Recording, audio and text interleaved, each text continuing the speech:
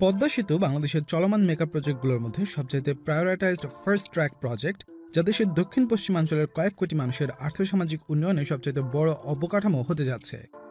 বিশ্বের অন্যান্য দীর্ঘতম সেতুগুলোর মধ্যে পদ্মা সেতু রয়েছে একশো বাইশতম অবস্থানে।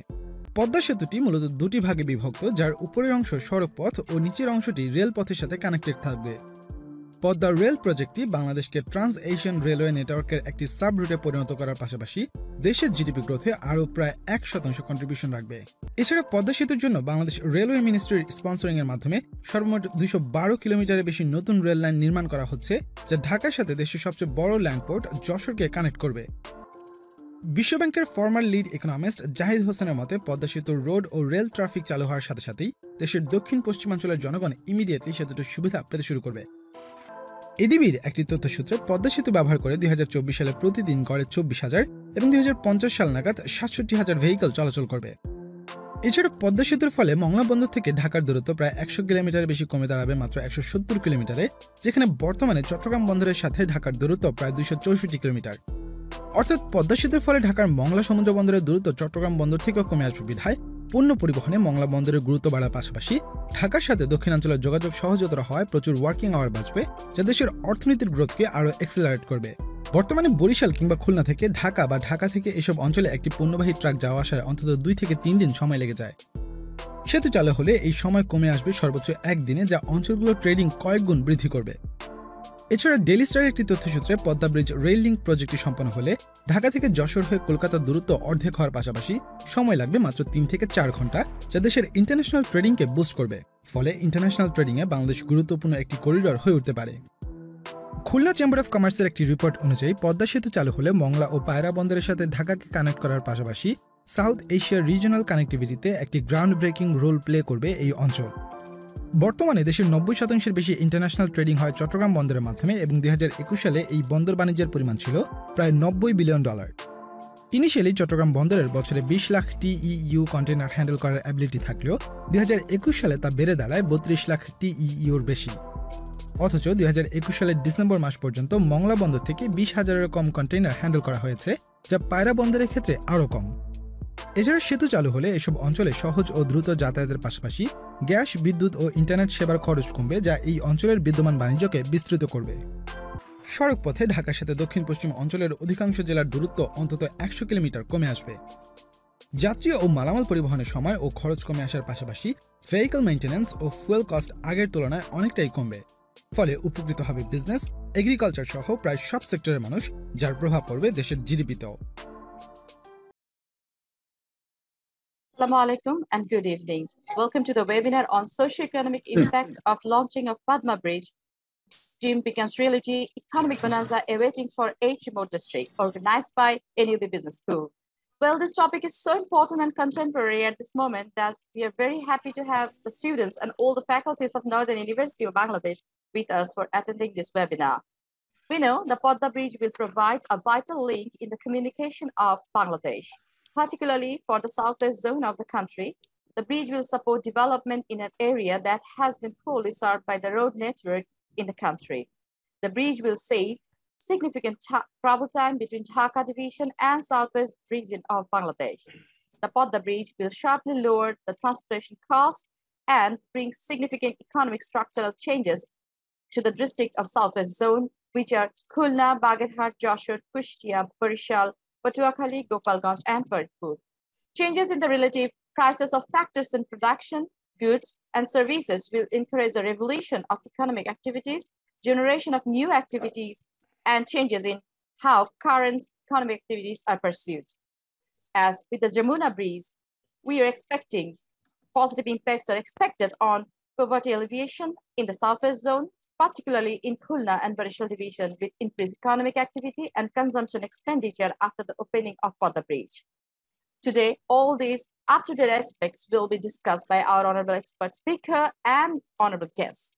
It is a great honor for me to introduce our honorable chief guest of this evening. We are delighted that Professor Dr. Abu Yusuf Muhammad Abdullah, honorable chairman, NEB Trust, and the governing body of Northern University, Bangladesh, is our chief guest of this evening. We are very delighted to have Professor Dr. Anar Hussain, Honorable Vice Chancellor of Northern University, Bangladesh, is present today as the session chair. Well, Mohammad Khairul Alam, Assistant Professor, Department of Business Administration, Northern University, Bangladesh, is present here as a designated speaker, and he is going to present a paper in this important topic. Professor Dr. Mohammad Ikramul Islam, Honorable Treasurer, Northern University, Bangladesh, is present here as a discussant. Professor Dr. Rakibul Hassan, respected head, Department of Bangla, Northern University, Bangladesh, will welcome you in this grand event. Professor Dr. Nazrul Islam, Honorable Vice Chancellor and Dean of Faculty of Business, Northern University, Bangladesh, is present here today as the technical session chair. Honorable guest, this is Bainazir Rahman, Assistant Professor, Department of Business Administration, Northern University, Bangladesh. Welcome you once again in this event. This moment, may I now request our session chair, Professor Dr. Anar Hussain, Honorable Vice Chancellor, Northern University, Bangladesh, to prompt his valuable ideas and opinion about today's theme. Over to you, sir. Thank you, Ms. Manager Rahman. And also thanks to Professor Dr. Rakibul Hassan, the Chairman of Bengali Department. Honorable Chief Guest, Professor Abu Yusuf Muhammad Abdullah. Honorable Technical Session Chair, Professor Dr. Nazrul Islam, Pro Vice Chancellor, Northern University, Bangladesh. The paper presenter, Professor Khairul Islam, my colleagues, and my dear students. আসলে আজকের এই আবেগ ঘন মুহূর্তে আমি জ্ঞাতসারেই প্রচলিত নম ভুলে বাংলায় কথা বলতে চাচ্ছি আমরা খুব শীঘ্রই আর মাত্র পাঁচ দিন পরে পদ্মা সেতুর উদ্বোধন দেখতে যাচ্ছি। এই প্রসঙ্গে আমি প্রথমেই শ্রদ্ধা জানাই, স্মরণ করছি হাজার বছরের শ্রেষ্ঠ বাঙালি বঙ্গবন্ধু শেখ মুজিবুর রহমানকে, যিনি সমস্ত জীবন সকল বাধা অতিক্রম করে আমাদেরকে একটি স্বাধীন রাষ্ট্র ভূমি দিয়ে গেছেন। এবং বাংলাদেশকে সোনার বাংলা গড়ে তুলবার জন্য তিনি যে দৃঢ় প্রত্যয় ব্যক্ত করেছিলেন, যে স্বপ্ন তিনি দেখেছিলেন, তারই বাস্তব প্রতিফলন আজকে ঘটাচ্ছেন তারই সুযোগ্য কন্যা বাংলাদেশের প্রধানমন্ত্রী জননেত্রী শেখ হাসিনা। আজকে পদ্মা ব্রিজের উদ্বোধনের অপেক্ষায় সারা দেশ কিন্তু মুখিয়ে আছে। শুধু আমি বলব শুধু দেশ না, সারা বিশ্বের সকল বাঙালি আজকে অধীর আগ্রহে অপেক্ষা করছে, কবে এই ব্রিজের উদ্বোধন হবে? এই ব্রিজের সঙ্গে বাঙালির অনেক অনেক বছরের, অনেক যুগের পরিচয়। যারা এক সময় এই নদী থেকে পার হতেন, বিভিন্ন ধরনের মাধ্যমে, জলযানের মাধ্যমে, এবং তখনকার স্মৃতি তাদের এখনও মনে পড়ে আর তারা ভাবতেন যে যদি কখনো এখানে ব্রিজ হয়, তাহলে কত স্বচ্ছন্দে এই নদীটা পার হওয়া যাবে।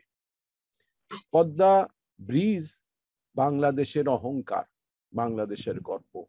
এবং একটা অত্যন্ত মধুর প্রতিশোধ নেবার গল্প, যেটি আজকে বঙ্গবন্ধু কন্যা শেখ হাসিনা করে দেখিয়েছেন। যে কথাটি প্রফেসর রকিবুল হাসান বলেছেন প্রধানমন্ত্রী শেখ হাসিনার প্রথম টার্মে যখন উনি প্রধানমন্ত্রী হন, তখন থেকেই উনি কিন্তু এই স্বপ্ন দেখেছিলেন এই পদ্মা বৃষ্টি তৈরি করার জন্য। যে কারণে আটানব্বই নিরানব্বই সালের এই প্রস্তাবনা হয় এবং প্রি ফিজিবিলিটি করার জন্য ব্যবস্থা নেওয়া হয়। কিন্তু যেহেতু দু হাজার এক সালে এটির পট পরিবর্তন ঘটে সরকারের এই কাজটি তিনি সম্পূর্ণ করতে পারেননি সেই টার্মে পরবর্তী সরকারগুলো বিভিন্ন মাধ্যমে তারা কাজটি কিছুটা আগিয়ে, এগিয়ে নিয়ে যায় এবং ফিজিবিলিটি স্টাডিটা করা হয়। কিন্তু এই ব্রিজটি ভিত্তিপ্রস্তর স্থাপন এবং প্রাসঙ্গিক সব কিছু কাজগুলো কিন্তু প্রধানমন্ত্রী শেখ হাসিনা শুরু করেন তার দ্বিতীয় টার্মে দু হাজার নয় সালে দুই হাজার আট সালে নির্বাচনে বিপুল ভোটে জয়লাভ করে দু হাজার নয় সালে তিনি যখন ক্ষমতায় আসেন তখন থেকে কিন্তু Padma within twenty one days of her assuming power in the second term, she launched the Podda Bridge project once again.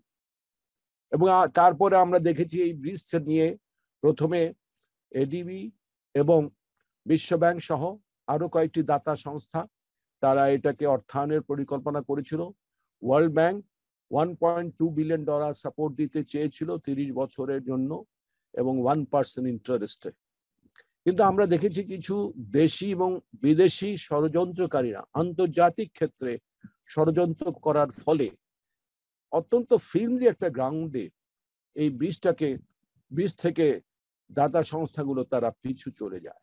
তারা এখানে অর্থায়ন করতে অসম্মতি প্রকাশ করে। কিন্তু এতে দমে গিয়ে প্রধানমন্ত্রী শেখ হাসিনা কিন্তু এতটুকু হদত্তম হননি। তিনি এই বৃষ্টি বাংলাদেশের নিজস্ব অর্থায়ন করবার জন্য সংকল্পবদ্ধ হয়ে তিনি এ ব্যাপারে ঘোষণা দেন এবং একনেকের মিটিং এ তিনি বলেন ব্যর্থহীন কণ্ঠে যে আমরা আমাদের নিজস্ব অর্থানে পদ্মা ব্রিজ তৈরি করব। তারপরে আপনারা দেখেছেন, অনেক জল গড়িয়ে গেছে পদ্মার মাঝখানে। পৃথিবীর ইতিহাসে এই বৃষ্টি স্থাপন করা ছিল একটা রীতিমতো চ্যালেঞ্জের ব্যাপার।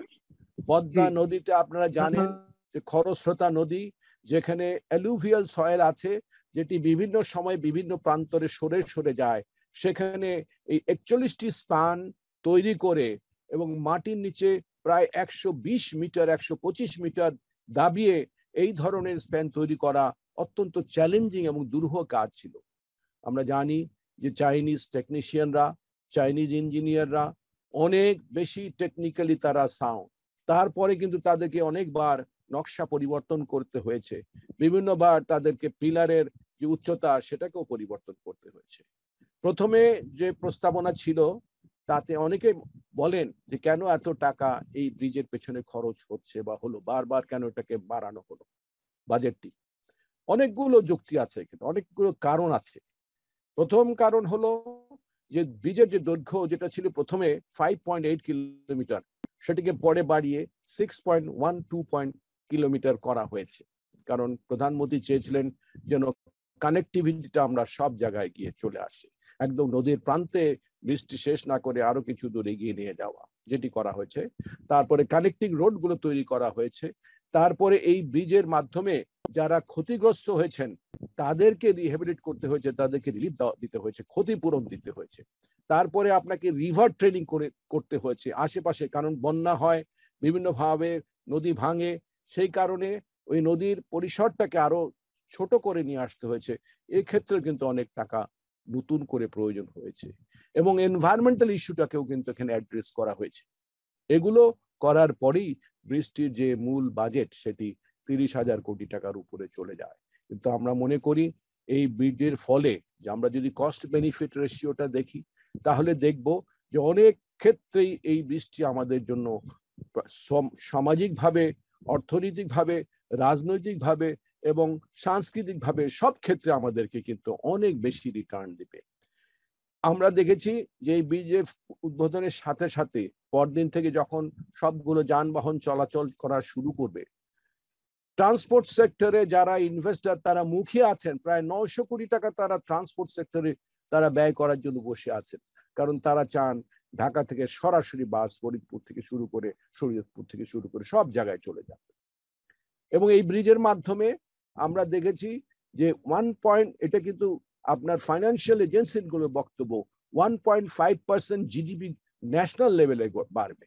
এবং আঞ্চলিক যে ডিস্ট্রিক্টগুলো আছে সেখানে প্রায় ফাইভ পার্সেন্ট জিডিপি বেড়ে যাবে। এবং এই ব্রিজের মাধ্যমে বাংলাদেশের সঙ্গে দক্ষিণ, পশ্চিমে যে দেশগুলো আছে, যে জায়গাগুলো আছে, শহরগুলো আছে বা জেলাগুলো আছে, তাদের সঙ্গে একটা ভীষণ দ্রুত সংযোগ হবে।